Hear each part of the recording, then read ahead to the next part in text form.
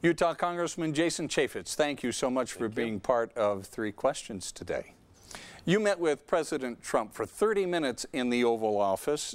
He wouldn't let you talk about anything that had to do with the House Oversight Committee. Why not? Do you feel like he was stiff arming you as the chairman of that no, committee? No, to, to the opposite. He was trying to say, look, you do your investigations, you do what you need to do. I met with him in Philadelphia briefly, and he said, You're doing a great job, keep it up, I see you on television. But he was trying to send a signal that he wasn't going to put a heavy hand on one direction or the other on any investigations, and I think it was the right, right message. You have said that the president is exempt from any federal conflict of interest laws. Would you be saying the same thing if a Democrat was in the White House? Yeah, that, I mean, I, I had to go back and study it, but Section 208 of the Criminal Code, the president is exempt on those types of things. And I would remind people, I never did an, a, an investigation of Barack Obama in his personal life. I never did one of Hillary Clinton or Bill Clinton for that matter. Um, I investigated how they were spending money, how they were using or misusing government resources, and I expect to be equally as vigorous on Donald Trump.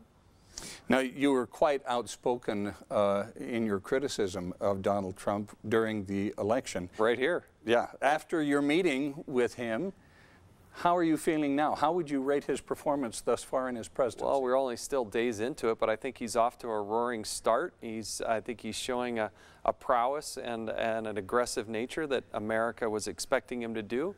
I think he's disruptive to how Washington, D.C. operates, but again, that's what he campaigned on doing.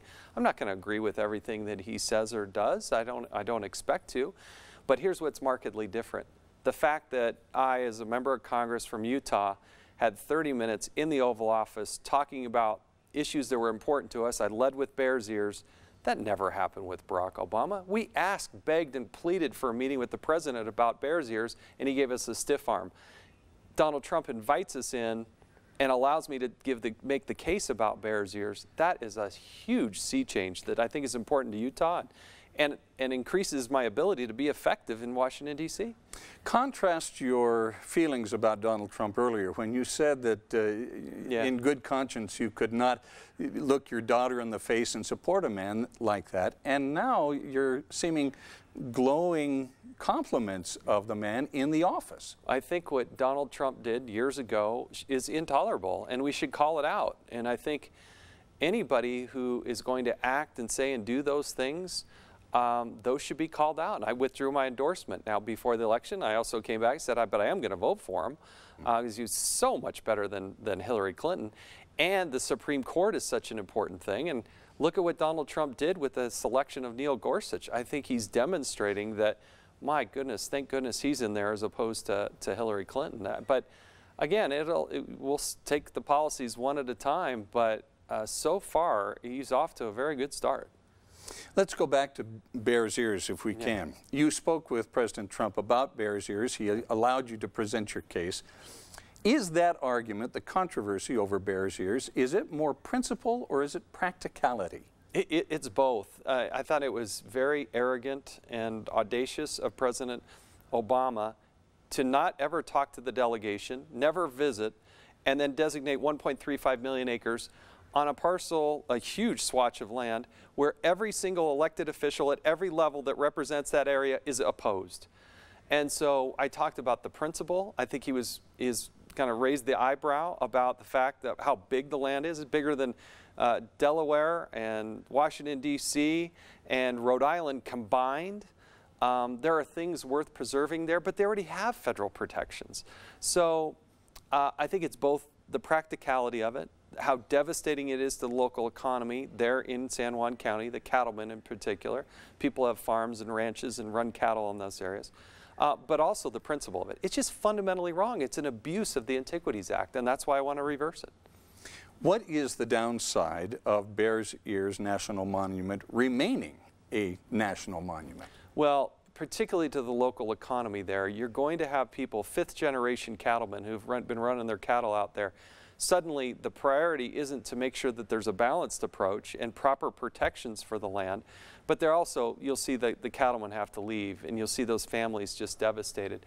And fundamentally, I just think the approach is wrong. There, like I said, there's things, there are things worth preserving, but to do it this way is just absolutely fundamentally wrong. It really is. And what I remind people is it's still federal land. There's still federal protections down there, um, but it's just not the right thing to do to make it a monument. Now, Bears Ears has become a, an incredible political football. Yeah. Patagonia has pulled out of the Outdoor Retailers yeah. Association show here in Utah in protest. The outdoor retailers are looking at leaving Salt Lake City, actively looking now. What is more important, keeping control of that federal land here in Utah or the $42 million that outdoor retailer brings into the Utah economy. Look, we love the outdoor retailers. We want them to thrive here, but we're not going to be bullied as a state by some company who's got a, a radical environmental a agenda. We do more to protect lands and create a proper and great multiple use atmosphere in this state than just about anybody. And if they want to go somewhere else, they're going to go a place that's not as nice. And that would be a, a crying shame. Uh, but we shouldn't be bullied into this. We have done so much to protect this. The Public Lands Initiative that we put forward is something they should have gotten behind. It would have protected 300 contiguous miles down Desolation Canyon with wild and scenic designation. We could have taken the Cleveland Lloyd uh, area and made that into a monument. There were so many things. We were going to add 20,000 acres to Arches National Park, and they said no to that. And, and so you really got to scratch your head and say, what is this really behind? What's really behind what they're trying to do here? And uh, I, I, thought it was out of line and uh, disappointed to see them leave. A lot of people enjoy their products, uh, but we should be bullied. You have said that you're going to continue your probe of Hillary Clinton's emails and her handling yeah. of top secret information. Where is that investigation right now? We really need documents from the Department of Justice and the Department of State. I would remind people that the State Department has its own ongoing open investigation. The Inspector General uh, for the Department of Justice, Michael Horowitz, is conducting its investigation. But we can't conclude in uh, our investigation until we get all of the documents. And there are still literally tens of thousands that are being hidden uh, primarily at the Department of State.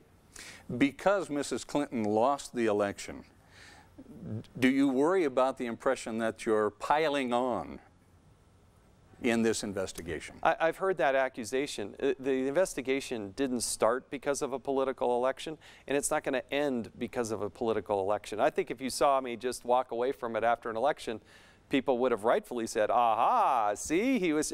But no, that's not the case. We have literally thousands of documents that somehow migrated out the door. How did that happen? Who are the people that were responsible for this? This, this classified information is supposed to be highly sensitive and compartmentalized so it can't walk out the door. We better solve that problem. And then you have problems at the Department of Justice. I mean, we have a long list, unfortunately, that has not reached its natural conclusion. What are your thoughts on Education Secretary Betsy DeVos? Um, I, have shaken her, I shook her hand at the inauguration. I don't know much about her. The Senate really has advice and consent. But if it's up to me, I'd put her out of a job because I want to close the Department of Education. There shouldn't be a federal Department of Education. We can educate our kids properly here in Utah between parents and students and teachers and administrators and school districts and state legislators and school boards we got enough administration in place. We don't need some Yahoo desk jockey out of the Department of Education to tell us how to educate our kids. So I'd like to put her out of a job if I could. Uh, you have a bill in Congress right now that would do away with the Department of Education. Why is that, and what would happen to the initiatives and the projects that are coming out of that department right now? Well, Utahns pay taxes, but then you have 4,500 people at the Department of Education, more than half of them making more than $100,000 a year, doing who knows what, giving us all sorts of mandates, tying us up in the testing that we have to do. It's offensive to think that some desk jockey in Washington, D.C. knows better how to educate our kids than Utahns. We care deeply about them. I just had the Utah School Board Association, I think that's their name, that came in and said, please get rid of um, Michelle Obama's uh, prohibitions on how we do school lunches. Of course we want our kids to eat well. We're going to take care of them. We're not going to do something that's going to be harmful for them. But why is it that Washington, D.C. has to control this process? Utah can do it. And that, that's the principle that I think drives us more than anything. You have said that you are interested in running for governor in 2020. Are you still on track for that? I'm a definite maybe. I don't know. That's that's way out. I have trouble figuring out, you know, what I'm going to do in a couple weeks. I, I I've tried to be honest and candid and say I really doubt that I'm going to run for the United States Senate. My life will be complete if I'm not in the Senate. But my goodness, one one task at a time. That that's I've left that door open, and somehow that gets interpreted as a lot more. But maybe A definite maybe. a definite maybe. Let's go back to uh, President Trump and your meeting with President Trump. Yeah. In your meeting with President Trump, you must have come away with an impression of the man as a man and as president. Yeah. What, is, what are your insights that way? He was nice and gracious. He was inquisitive. Uh, we talked about topics that I think he maybe hadn't been peppered on in the uh, in the in the campaign. Um, we talked about everything from civil service reform and Bears Ears to postal reform. He was very keenly interested in embassy security and embassy construction. We have a major problem in London that I needed to deliver some bad news that it's supposed to open at the end of the month after spending a billion dollars and it's not going to open. And he was just wondering why did we build a new embassy as opposed to refurbish the old one? And we had a good long discussion about that. And and I said, Mr. President, they desperately need your help on this. So he was, he was very much a businessman, um, but I was naturally more inquisitive than I thought he would be, and very gracious with his time. After your meeting with President Trump, if you had to give uh, a projection of what kind of a president he's going to be over the next four years, what would you say? I, it's so much better than where Barack Obama was. I don't think Barack Obama had uh, a natural inclination to engage Congress. And even in the first few days of his presidency, the president's reaching, reaching out to the ranking member on my committee, Elijah Cummings, talking about prescription drugs. He's reaching out to me. He's, he's asking questions. He's allowing me 30 minutes in the White House, one on one, to talk about issues that are important. He has that natural inclination, and I think that can only bo- bode well for the nation and for Utah. Whereas I sat there for eight years with Barack Obama, and other than prison reform, never got an invite, never had a question, and neither did my colleagues on either side of the aisle. So he has a, still a golden opportunity. Some of these more volatile, uh, you know, uh, tweets and whatnot, I think get us off message, and I, I would hope he'd tone it down. But you know, who am I to tell the president what to do? But I, I think that gets us off message and off the, the direction of where the country really needs to go. After your meeting with President Trump, what surprised you the most? How much time I got. I mean, he wasn't rushed at all. Uh, the fact that he would follow up and ask questions, I was heard. I had heard that he was just going to be rapid fire, uh, but it wasn't like that at all. I mean, he told me stories, asked questions, uh, wanted to learn more, and you know, I got. I went in there for a 15-minute meeting, and 30 minutes later, we were done and agreed to try to get together again soon. Do you think the media and the country is misunderstanding him right now at this point in his presidency? No, I think the media is running around with their heads cut off, their, their heads exploded. They can't believe that Donald Trump was the president. They had predicted for two years it would be Hillary Clinton.